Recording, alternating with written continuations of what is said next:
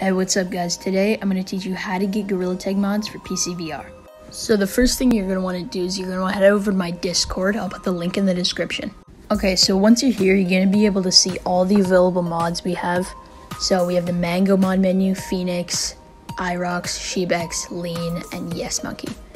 Okay, once you've chosen the mod menu that you want to install, I chose Mango mod menu here uh, you're just going to want to install the DLL file. So for this one, the newest one is version 4, and you're also going to need to install monkey mod manager.exe. Now it's going to say it's a sketchy install, but it's been checked for viruses many times.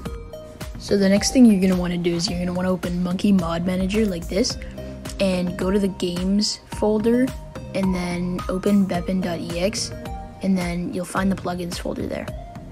Now you have to open two pages of tabs, one for your recent downloads and one is the plugins folder from earlier.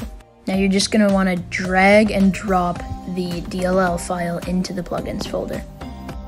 And that's pretty much it. You can launch Steam VR, load up Gorilla Tag, and you can check out the mods.